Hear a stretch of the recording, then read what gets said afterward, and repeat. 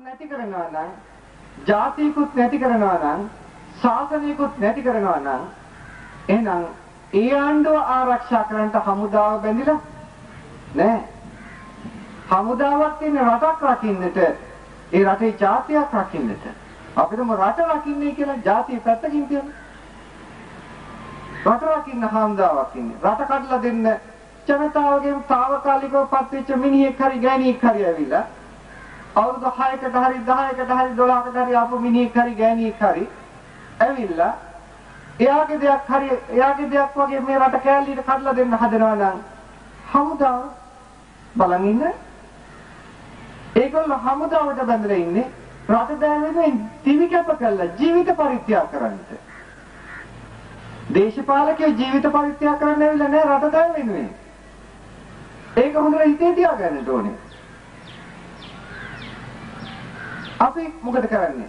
හමුදාව ගිහලා ජීවිත කාලයක්ම ජීවිතේ කැප කරලා හමුදාවේ කටයුතු කරනවා. ඒ වුණාට අර తాවකාලිකව පාලන බලයට එන කෙනෙකුට ඕන විදිහට රටක් කඩලා දෙන්න බලාගෙන ඉන්නවා. මේ කියන්නේ මොකද්ද කියලා තේරුම් අරගන්න පොඩ්ඩක්. කොන්ද තියනවා නම් රටක් දෙයක් ගැන හැඟීමක් ඇති පාලකෙම හමුදාවක් නම් අපිට ඉන්නේ.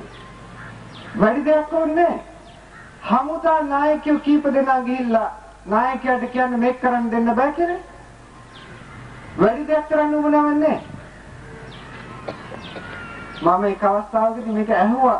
දැන් අවුරුදු කීපයකට ඉස්සෙල්ලා අවුරුදු 5කට විතර ඉස්සෙල්ලා. ඔය ඇත්තන්ට ආණ්ඩු අල්ලන්න යන්න ඕනේ නැහැ.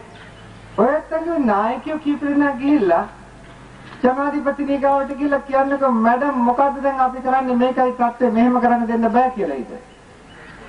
ඔබතුමීට පාලනය ගෙනියන්න ඕන නම් මේ රටේ තත්ත්වය මේකයි. අපිට ඊට දෙන්න මේක කරන්න කියලා. ඒ කිව්වනම් හමුදාව ඒක රාශිය වෙලා මේක කිව්වනම් ජනාධිපතිනිය ඔළුව වරන්නේ නැද්ද? ඔළුව වරන්න වෙනවනේ ජනාධිපතිනිය. එතකොට මොකද්ද මට ලැබිච්ච උත්තරේ? හාමුදුරනේ ඒගොල්ලෝ ටික එකතු කරගන්න එකනේ අමාරුව. හා? ඔන්න ඕකයි ලැබිච්චේ. ඒ උසස් නිලධාරියෙක් කිව්වේ. ඊට පස්සේ මම ඇයි නෑ හාමුදුරනේ කොටින්ම කියන හොඳ හැංගීම් තියෙන මහත්තයෙක්. ඒ මහත්තයගේ ඒගොල්ලෝ ඉන්නේ තරු ගැන ගැන ඉන්නනේ.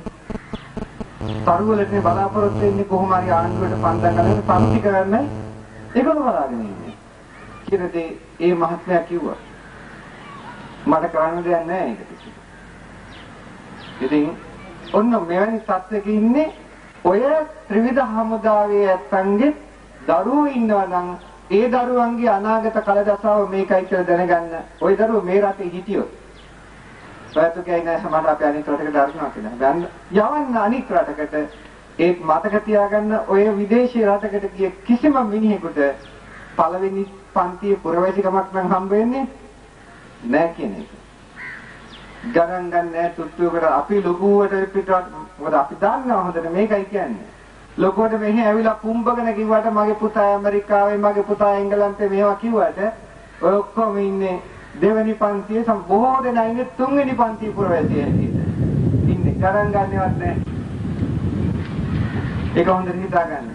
මේ රටේ තමයි අපේ අපිට අපේ කියලා ඉන්න පුළුවන් රට මේ රට.